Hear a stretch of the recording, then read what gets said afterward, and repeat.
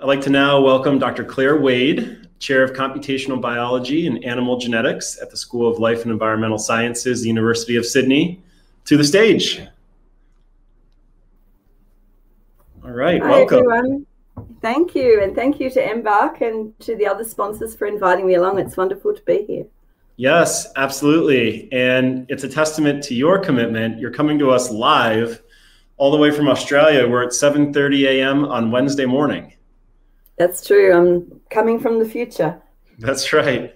That's right. well, well, thank you again for being here. Um, I'm really excited to share your background with the audience. Um, Dr. Wade completed her undergraduate and postgraduate education at the University of New South Wales in the field of animal science and genetics. After working as an academic in the School of Veterinary Science at the University of Queensland, Dr. Wade made the leap from quantitative genetics to genomics in 2002 when she accepted a position with the Whitehead Institute for Biomedical Research at the Massachusetts Institute of Technology. The genomics group at the Whitehead later became one of the founding groups of what is now the Broad Institute. Dr. Wade worked on several mammalian genome, genome projects, including the mouse, dog, and horse. In 2009, Dr. Wade returned to Australia as a professor at the University of Sydney.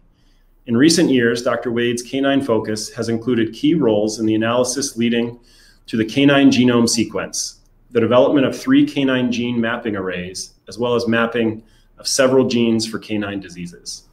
Projects currently underway are towards a better understanding of the genomics of behavior, including finding genes underlying canine separation anxiety and working dog performance.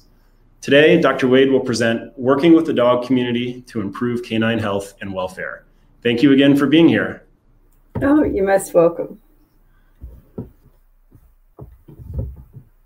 Well, hi everyone. I hope that um, it's a bit of a change of pace from the last speaker, but hopefully I won't leave you all in the dust. I'm going to talk to you today about a few projects that are actually underway in my lab. These are ones that are not yet published, so you're going to see them hot off the press. And um, hopefully you'll you'll see the sorts of things that we do and the sorts of things that fascinate me in my um, daily work.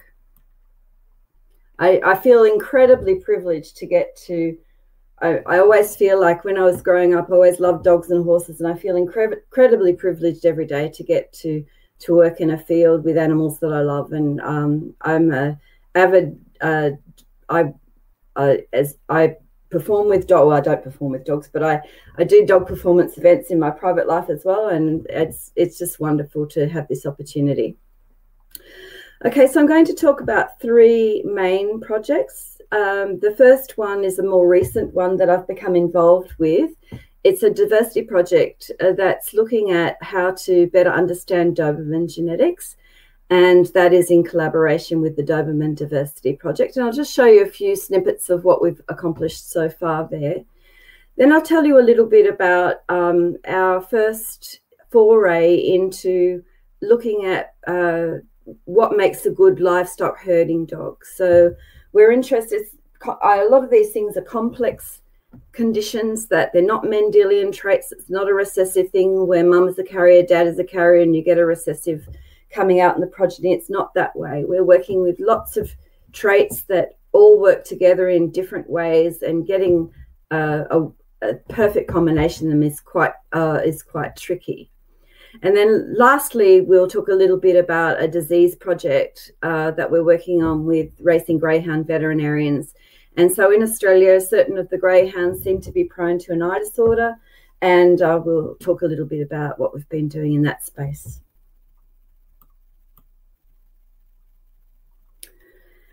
So late last year, I was contacted by Dr. Sophie Liu, who I believe might be online. And um, she had access to a large uh, data resource of uh, Dobermans that had uh, embark canine, uh, high density canine genotyping array data. And so, with that, uh, the wonderful thing about the embark data are that the user has access to the raw data for their animals. Now, most people wouldn't know what to do with that, but as a breed uh, group, you can collect those data together and you can do some quite good things with them. And so, what the Doberman Diversity Project has done has uh, is that they have collected together uh, more than 3,200 um, sets of data from different Dobermans across the world. And uh, these have a large number of markers for each dog. So there are other diversity um, commercial enterprises out there that provide uh, a, a, set of markers that's not as comprehensive as this, but the, these animals each have are measured at 220,000 different places in the genome. And this is wonderful because it gives us a really good idea of what's going on. Those samples are de-identified, so we don't know precisely who each dog is or where they live, but they come from all over the world.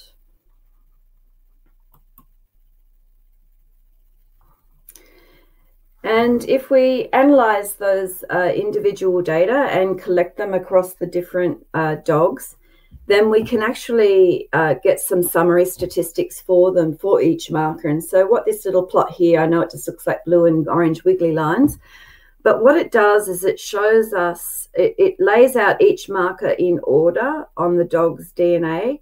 And so we can see precisely in the DNA what's going on in terms of the breed diversity. And so the blue line represents where the um, alleles, where the different variants at each marker are close to fixation. So the higher that line goes, the less variety or the less diversity there is at that site in the genome. And with the orange uh, one, it's the opposite of that. So it's talking about a thing that we call the minor allele frequency. And so when that line goes down, that means that um, all of the alleles in those dogs uh, are not very variable at all. And so you can see that there are a few, I've put a red line in there at a place that um, sort of marks where the top 5% of um, problem areas might be. And you can see at the beginning of that chart that there are two big um, peaks. Um, I will say generally compared with charts that I've seen like this in other breeds, this is a fairly low diversity chart.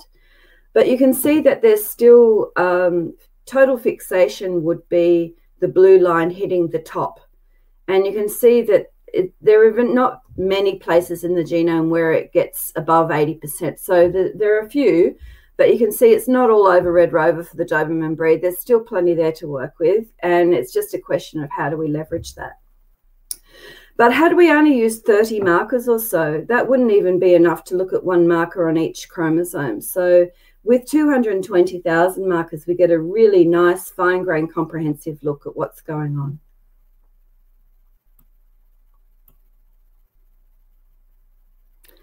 Now, another thing we can do is we can look at it on an individual dog basis. And so if we plot our dogs on a chart that shows us how like they are to each other, and we just take the first two, these are called components of variation. So we can plot these out as a different X and Y coordinate. And what we end up with is if we have dogs that are similar, they'll be near one another. And if we have dogs that are different, they'll be far from one another. So you can see with the Dobermans, we get this kind of Z, Z plot. Um, and what that kind of reveals is, I guess, uh, the history of movement of the breed in a way where this the sort of smears between the blobs uh, represent um, animals that are in transition between those those two uh, populations. And so we can also ask, well, what do these populations represent? And we can look and we can see if we have a few dogs, um, we can look at that last diversity chart and we can pick out the dogs that have the rarer versions of the haplotypes or the rarer versions of the alleles in the problematic areas of that chart. So we had a problem on chromosome three. And so here, if we, there were those two peaks on chromosome three. And so if we paint on here, the dogs that had the unusual uh, variants on chromosome three, we can see here that they all sort of cluster in the same area of the chart. And this is really interesting. Um, oftentimes in genetics, we presume that the places where the rare things pop up are probably the ancestral places, but that's not necessarily the case it could be something else. And so let's have a look and see what might be there.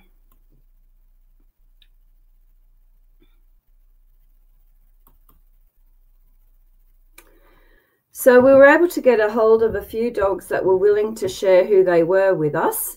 And when we add those dogs onto our chart, that allows us to identify um, roughly what those populations are. And so the different colors here on my screen, it's a little bit small. Hopefully on yours, it's a little bit bigger. But in different colors, we can um, color the areas of the chart according to where the dogs come from. And so we can see that the left portion of the chart are European dogs, the right portion of the chart are, are mainly from the USA. And the lower circled area there were animals from the USA, but they were not part of the standard pedigree population. And so this is a little bit interesting. What might they be? And so someone suggested um, that um, that these might be a special group of dogs. I guess the the first thing I, I I've nearly forgot to say, but it's very important to say, is there are a lot of people out there who are chasing rare haplotypes for the heck of it. And I think that we need to be very careful about that because breeders have been selecting dogs for health for a long time. And sometimes the haplotypes that are rare, it's well known that recessive disorders hide, recessive disorders that don't have tests hide in populations for a long time. And it's possible that these areas of low diversity actually represent areas where there has been strong selection against a, a problematic recessive trait. And so, what we'll need to do is to look more carefully and ensure that those rare, before we start going crazy and bringing all those rare haplotypes back into the population, first we need to check whether they're good rare, which means that they're just rare because they're rare, or if they're bad rare, which means they might harbor an important uh, deleterious uh, gene that might be extremely problematic if we were to, um, without thought, uh, explode that uh, frequency of that rare allele. So it's really important that we don't just chase rare for rare's sake. We need to check carefully to make sure we're bringing something good. Um, but there are tools out there that can help us to do this. So in the dog world, there are uh, lots of dog genetics resources online that we can use to help us figure out if this is a good thing or a bad thing. And in failing that those tell us the answer, we can always generate our own data to tell us that. Okay, so uh, one of the rarer things in Dobermans that has been selected against is a coat color, which is white. And um, so it was suggested to me that the Doberman lines that had the white gene in them had been sort of outside of the main breeding group in the USA. And so we wanted to check to see if those might be the ones in that area of the chart. And in fact, when we looked, we could see that the gene, the dogs that had, we could see which dogs had the white um, haplotype with our white variants because we can see all the DNA and we know where the variant is. So we can look and we know that those are the white dogs. And so we can see that actually, yes, that's uh, an area of the chart where those white dogs are. Um, the fact that a lot of the rarer variants were clustering in that area might suggest that those dogs are not 100% uh, um, Doberman, and that might be why they're getting these rarer haplotypes pop up as well. It might be that there's a bit of other breed mingled in there. We don't know yet. These are all things to find out. But what this tells us is that even uh, de-identified samples can help us to better understand our population dynamics. There's lots of different things we can do. This project's just started at the end of last year. We'll, ha uh, we have a new PhD student who'll be picking it up this year, and um, we need to we need to always be aware that diversity for its own sake. Um, we need to be a little bit careful because there are dangers lurking there that we need to monitor. And uh, we shouldn't just be chasing rare haplotypes for the heck of it. So, um, the other thing to know is that there's a lot of uh, great public resources out there now that we can use to help us. Okay, so next, um, uh, popping onto a completely different project. Now we're working in behavior.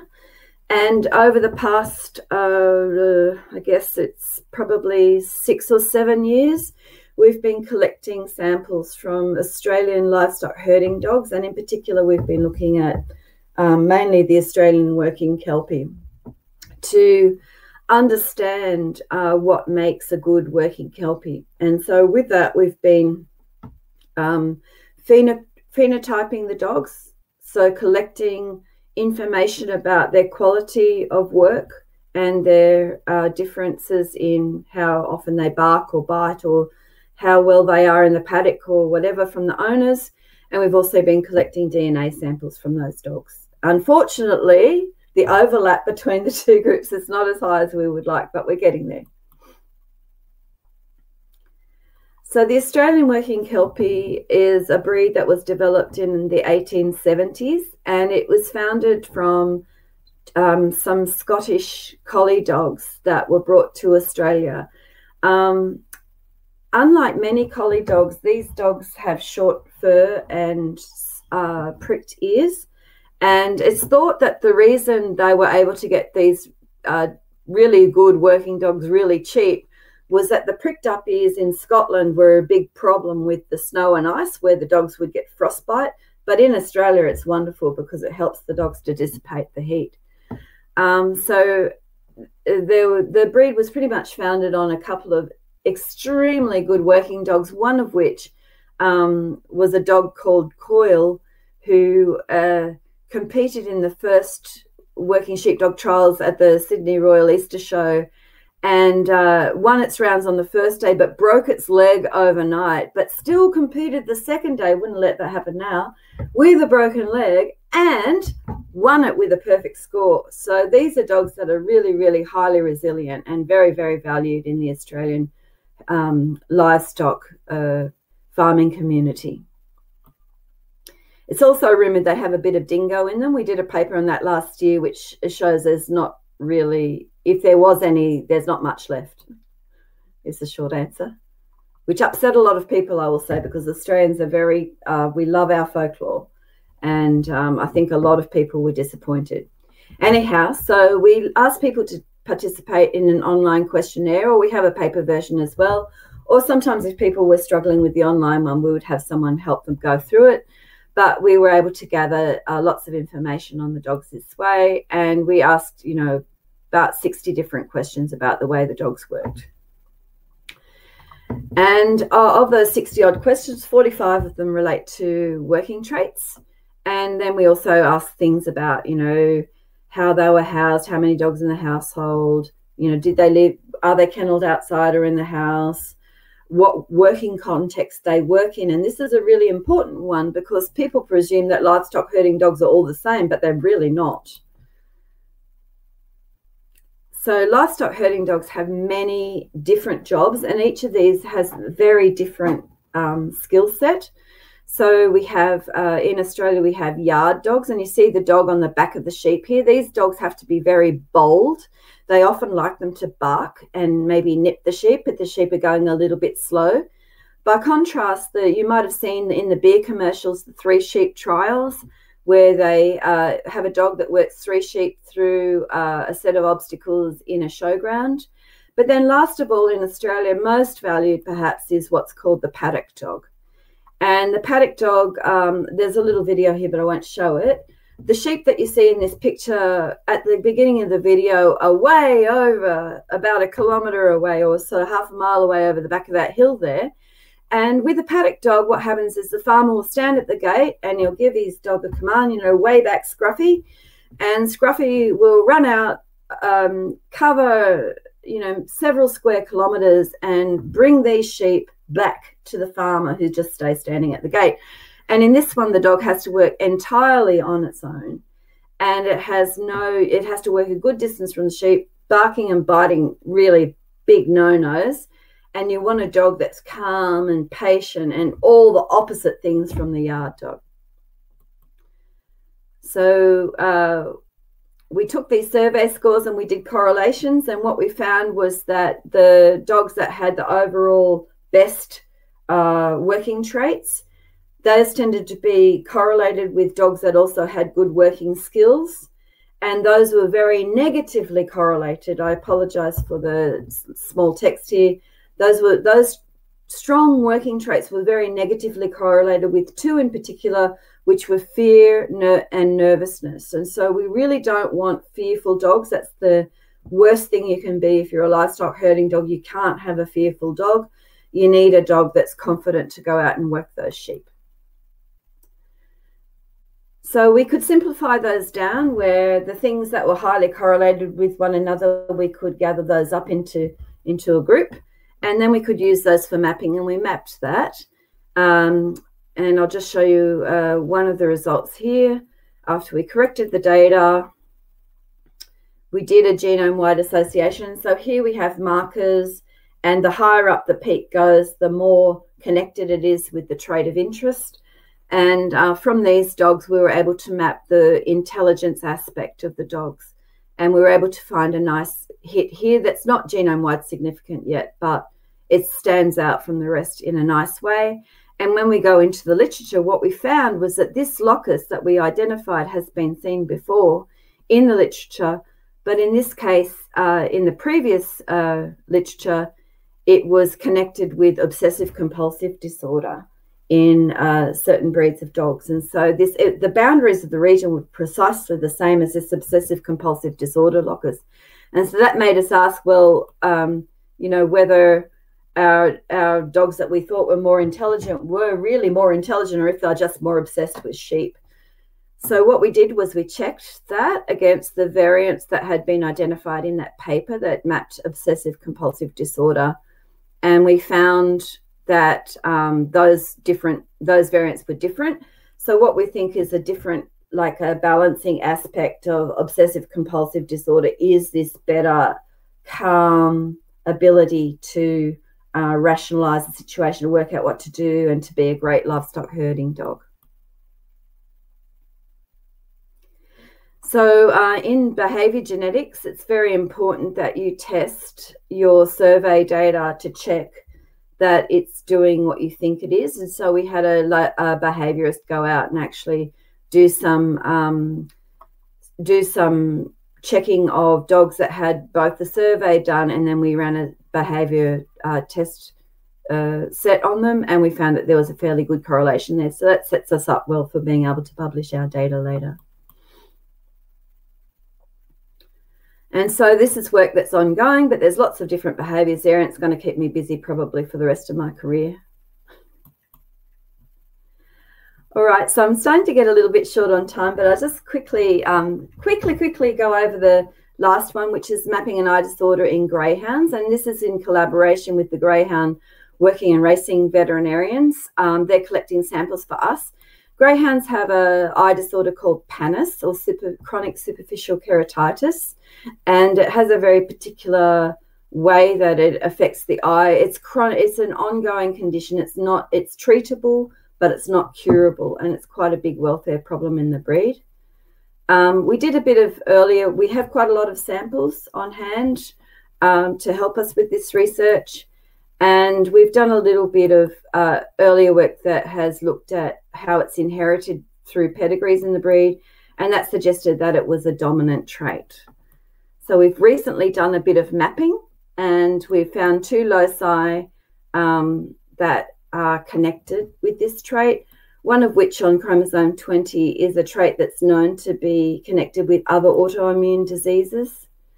And um, the the second locus is uh, a known immune gene, but it's been quite difficult to assay because um, of the nature of the DNA in that area. So that one's been a bit of a problem for us. So that's just a really quick snapshot of the work that we have underway in our lab. Um, and uh, I, I'm happy to take some questions from you. And just last of all, I just want to thank all of the people who have been helping us with our research from the Doberman Diversity Project, who've given, who have very generously um, given us access to all of their data. Embark for the invitation here today the Greyhound Racing and Working Veterinarians and the AgriFutures and the Working Kelpie Council for helping with the livestock work. So I'm sorry to have rushed the last bit, but I'm happy to accept some questions from you.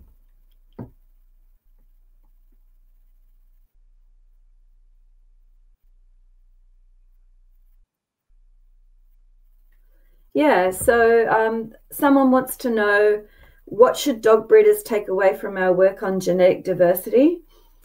Um, I think that every breed is different.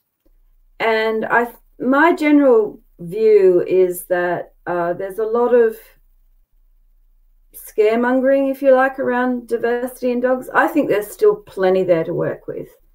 Um, I think that every breed is going to have its own problematic regions of the DNA, and knowing those could be really helpful. So, for the Dobermans, for example, we can see that that chromosome 3 is a bit of an issue. In the breed that I have, uh, we have another chromosome that I think might be a bit of an issue because it's got a couple of disorders on it. And so trying to juggle our way between the disorders is a bit problematic. Um, but really, I, the, the thing I would caution is diversity alone, diversity alone or heterozygosity alone, you do want it to be broadly. I, I guess the thing I would want to say is you want to look at the whole genome. You don't want to just like hone in on the MHC, for example, because that's one very small piece of the bigger picture. And you really want to know what's going on. You want to be sure that rare things are not rare for a reason. Um, yeah. So, uh, yeah, hopefully that is, I think, more data. Each breed needs to do its own thing. Um, but generally, I would uh, suggest to people that I, I'm not a big fan of line breeding. Um, I think there, but I think a lot of people uh, confuse line breeding and selection. So that a lot of people who say they're line breeding are really using selection, and selection is fine. You know, you want to capture good genes for good traits. So the speaker prior was talking about fronts on dogs. And so you don't want to lose everything you've built by just bringing in random genes here and there, because you might, in fact, bring in one of these deleterious things that you weren't really looking for. So selection is good, um, but you can select and still outbreed. And so I would recommend people that are interested in improving their breed use selection but if you can find another dog that's not related to yours that has the traits you're after, go that way rather than using its, you know, close relative. All right. So in the interest of introducing genetic diversity, how can you trust an informally bred dog is a true member of the breed if no registering body has you can't is the answer. you can't well, it depends on you as a breeder and what you value. And if you value pedigree or if you uh, actually uh, value instead um, um, if if you're not a member of a registry organization, having a pedigree may not be so important to you. You might be okay with going with the informally bred dog, but um, but uh, if you're in a pedigree, you're constrained, and you can, if you're in a pedigree organization, you're constrained by the ethics of that organization to breed from a dog that has a known pedigree. And but there's still lots of opportunity there. You saw on that Doberman plot, those dogs were very, you know, they they're quite clustered. The German dogs all look German, and the USA dogs all look from the USA. You can see they're quite different. You can see the dogs that are halfway in between. So there's plenty there to to work with that will enable you to capture genes that are not already in your population. Um, so someone's asking if more markers are best to understand diversity why not whole genome sequence all of the dogs? Uh, because it's expensive and the expense isn't just in the sequencing, it's also in the analysis of the sequence data, the storage of the sequence data. You need people with specialist bioinformatics knowledge to understand that. I did have a great idea a few years ago that every sire that sires more than, say, you know, 100 progeny should have its whole genome sequence so we can see what's coming down the track, but no one seems to have picked that idea up yet. Um, so someone's here saying, would it make sense to use the visualization of breed diversity plot, to select mates and select those that are furthest apart? Um, you can do that. Um, yeah, that's one way to do it. You can also do it using a pedigree. Just choose a dog that doesn't have the same ancestors as yours. But I think that you've got to, everybody's breeding goals are a little bit different. And my sense is that's why um, there's still a lot of diversity in pedigreed breeds, it's because while a lot of people claim that all people in the pedigree dog world are just breeding to the breed standard, in my experience of seeing what people breed and what the um, previous speaker was telling us, that's just not true. I mean, people breed the dog they have in their yard and they try and find a way of making the progeny better by choosing a mate for that dog that kind of corrects some of the issues that that dog has. And everybody's breeding goal is different. You know, someone might like front, someone might like rears, someone might like heads, someone might like color and marking, someone might like working temperament. So all of these different goals that breeders have and the emphasis is that they put them on them maintain more diversity in dog breeds than people expect. Okay, so since the three distinct Kelpie jobs requiring specific behavior, do you look for genetic differences between? Um, so there are differences between them. Uh, the yard dogs are very different in different in terms of barking and biting than the other ones. Um, the trial dogs tend to be a bit more nervous. They tend to work more closely with their handler. So I guess being nervous isn't such a big problem for them as it is for a dog that has to work on its own out in the paddock or in the yard with a, a stroppy sheep who's going to stick its horns in the dog. So um, we know that there's a selective sweep for kelpies on also on chromosome three, strangely, uh, which was actually in uh, accidentally identified as a locus for a disease trait some years ago, which it's not. It turns out um, it was just selective sweep for for resilient. It actually is a a region that allows them not to um, be so pain sensitive in their paws. And so in Australia, lots of the paddock areas have lots of prickles. And if the dog can't, you know, get out in the paddock and tread on the prickles and work the sheep, he, he can't work at all. And so he will never be selected as a breeding dog. So that uh, was that. Oh, we're getting lots of questions. All right. Based on uh, so in the so the next question was relating to the same uh, region being related to both OCD and cognitive ability. Um, they were different variants. They were different haplotypes for both. So um, I think the region suggests that those are two sides of the same coin, but they're different processes. Probably they're different genetic makeups that make those there. Okay, so someone. Um, I think that at this stage, I wouldn't be taking home for a different breed the cognition uh, results. That I, I wouldn't do anything until any of this is published, to be honest. It's still early days. They need to be published, and well, they need to be mapped to a statistical level that we are happy with as genetic geneticists, and then they need to be validated before you start doing something with them in your breeding program. Um, so someone's asking about update on the relationship between, I think they mean MHC and autoimmune diseases and allergies.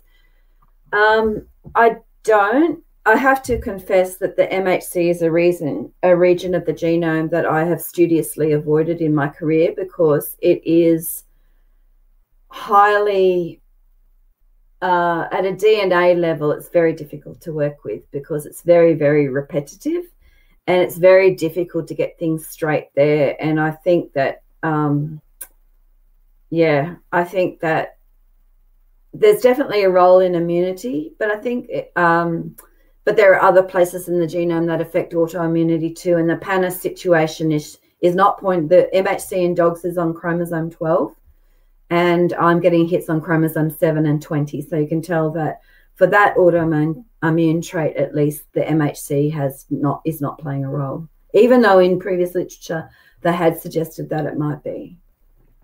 Um, so how will using frozen and chilled semen affect diversity over time through genetic drift in breeds with small populations? So I think what happens is uh, that eventually all populations will become one big population. So you'll go from having a breed like a Dandie Dinmont, for example, to having one that looks more genetically like on a diversity level, more like a Labrador or a Golden Retriever, where it's more akin to a large population size breed. So it just really what it does is it reduces that um, over time, over the long term, if there's lots of AI and importation of dogs, what ends up happening is that the global population becomes one population. Um, okay, so Spanish water dogs definitely possess the traits of the yard dog. Yes, uh, yes, so do um, uh, the laphounds. I think. Do you have suggest oh suggestions to reduce fearful guardiness in a um, so I think that this is early work, and I think in years to come, there's groups of us who are all interested in behaviour, and hopefully we can get things together and start to make some headway there. But at the end of the day, every every um, breed is different, and uh, these are complex traits that will be influenced by many, many, many different genes in the genome.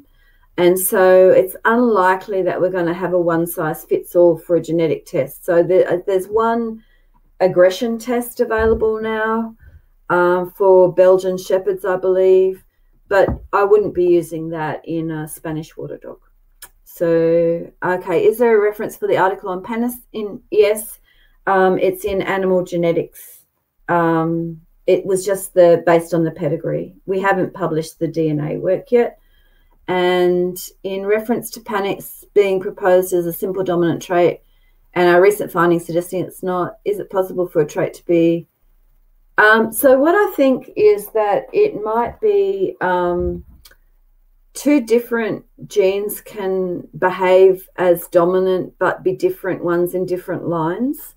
And so we were wondering, it may be that different, yeah, there's sort of the two of them add up, but they look in the data they looked dominant, but the DNA doesn't um, is not really supporting that at this point.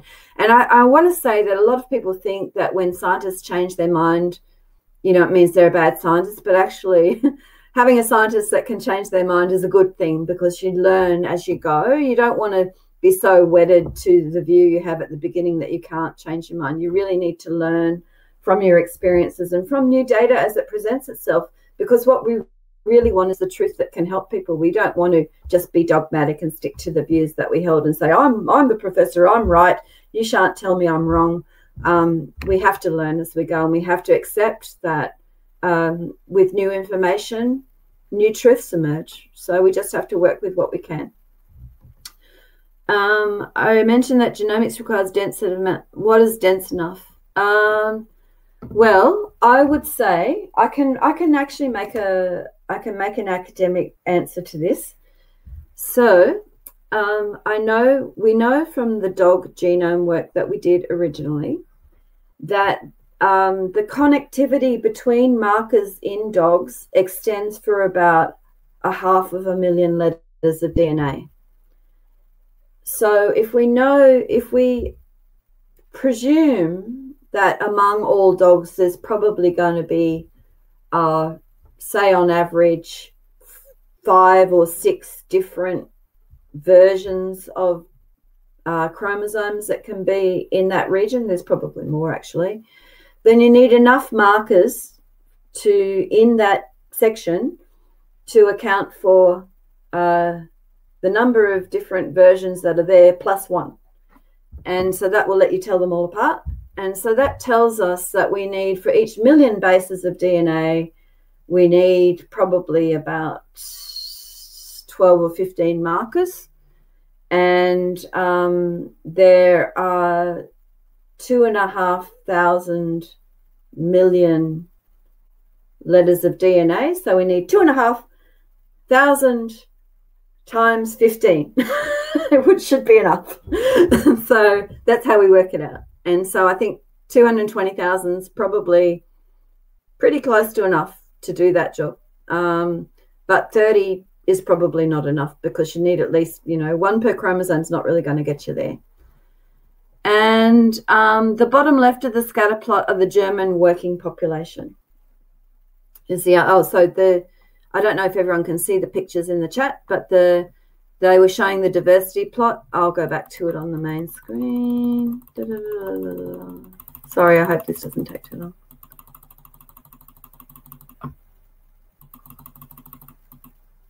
I'll, I'll go through this to the front chart and um, actually I'll go to the this one because it tells you. All right, so I'll tell you who they are. These are the European show population. Oh, sorry, you can't can you can't see my arrow. I'm presuming. The top left with the yellow dots is the European show population. The bottom left with the green dots are the German working population. The top right with the uh, sort of brown dots are the USA show population. The bottom right are the informally bred USA population. Um, there's an Australian population in the middle there somewhere, and then the rest are kind of like interbred between those groups.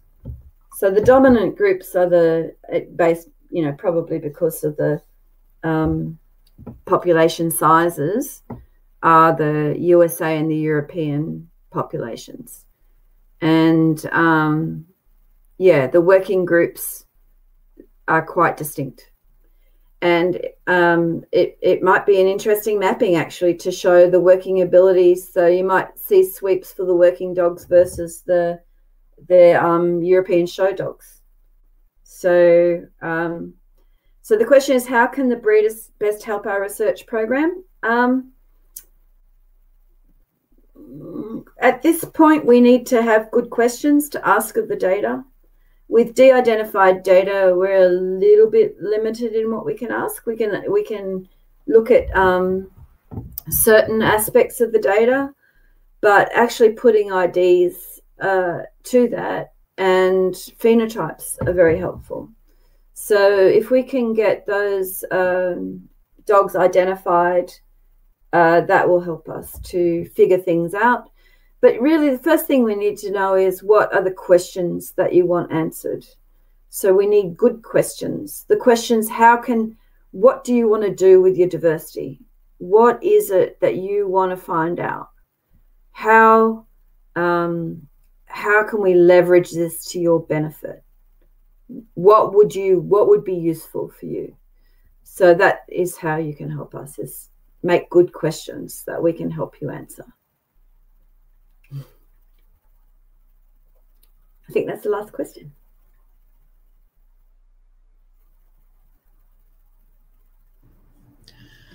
All right. Well, thank you again so much, Dr. Wade. Uh, you did an amazing job sharing about sophisticated topics in a really practical and easy to understand way. So I, I know our viewers all really appreciate it. Yeah, sorry for the rush at the end, but hopefully it was interesting. It was a yeah. lot of fun too. Good, good. No, it, it, was it was terrific. I mean, especially considering inbreeding and diversity are such crucial crucial topics um, for breeders to understand. Um, I actually wanted to ask you one last question before you go. Just sort of a, you know, looking ahead over the next few years. You've you've talked about kind of looking backwards, all of the all of the things we've learned um, and all the things we know today. But as you look ahead, you know, are there any insights or discoveries you see on the horizon that you're most excited about? Uh, for me, the holy grail is figuring out um, what makes us tick behaviorally. I mean, this is something that can benefit all species. And um, I think that it would be wonderful to get a consortium of people together to look at it because I think it's really only by combining our resources that we're going to make a real headway there. Um, yeah, so I think every breed's different. Uh, the nice thing about dog breeds is because they are uh, closed populations that they help us to unravel the, their complex traits because it quietens down the background a bit so it lets certain genes pop out more in population A. It may not be the same gene that's popping out in population B, but they're all part of the bigger picture. Right. That together we'll finally get to the answer. And yeah, just understanding uh, just understanding why we behave the way we do, or yeah, I've got some ongoing projects at the moment um, that yeah, I'm really there's lots of exciting things ahead. So yeah. well, that's terrific, and we certainly look forward to hearing about those things and um, continuing to apply the learnings as they're available. So So thank you again so much for being here. I know it's extra early in Australia right now. Oh, we, no, not that extra early. It's really go to work time. thanks a lot. And thanks for having me. All right. You're welcome.